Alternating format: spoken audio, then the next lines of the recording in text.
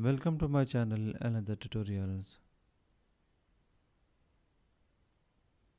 As soon as we turn right color clusters another options range becomes available directly below the fuzziness slider with range set to 100% or with the localized colors option turn off Photoshop will look throughout the entire image for areas of for matching color to add to our selections but was lower the range value by dragging the slider towards the left.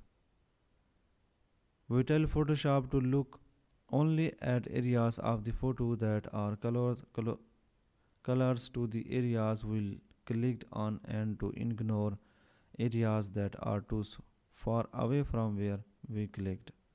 In other words, I can tell Photoshop to ignore the red part of the pictures dress at top of the photo and focus only the areas colors to pictures.